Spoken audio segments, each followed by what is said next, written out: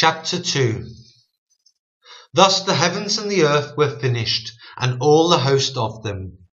And on the seventh day God ended his work which he had made, and he rested on the seventh day from all his work which he had made.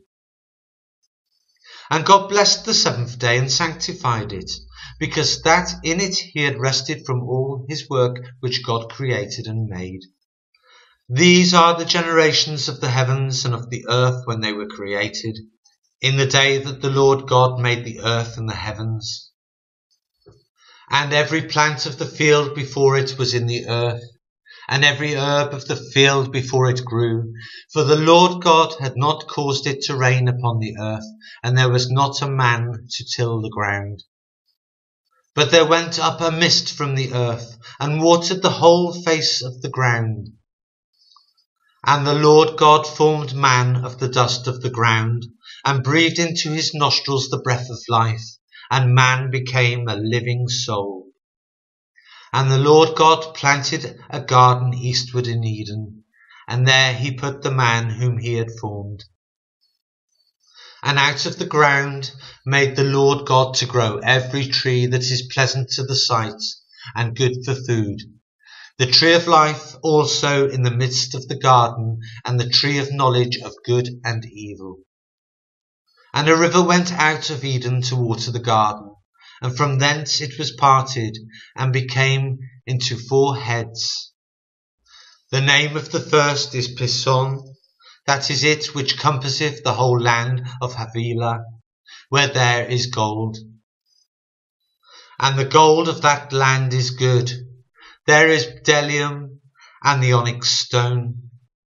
And the name of the second river is Gihon. The same it is that compasseth the whole land of Ethiopia. And the name of the third river is Hiddekel.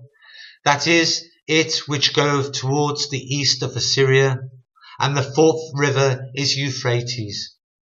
And the Lord God took the man and put him in the garden of Eden to dress it and to keep it. And the Lord God commanded the man, saying, Of every tree of the garden thou mayest freely eat. But of the tree of the knowledge of good and evil thou shalt not eat of it. For in the day that thou eatest thereof thou shalt surely die. And the Lord God said, It is not good that the man should be alone. I will make him a help meet for him. And out of the ground the Lord God formed every beast of the field and every fowl of the air, and brought them unto Adam to see what he would call them. And whatsoever Adam called every living creature, that was the name thereof. And Adam gave names to all cattle, and to the fowl of the air, and to every beast of the field. But for Adam there was not found a helpmeet for him. And the Lord God caused a deep sleep to fall upon Adam, and he slept. And he took one of his ribs and closed up the flesh instead thereof.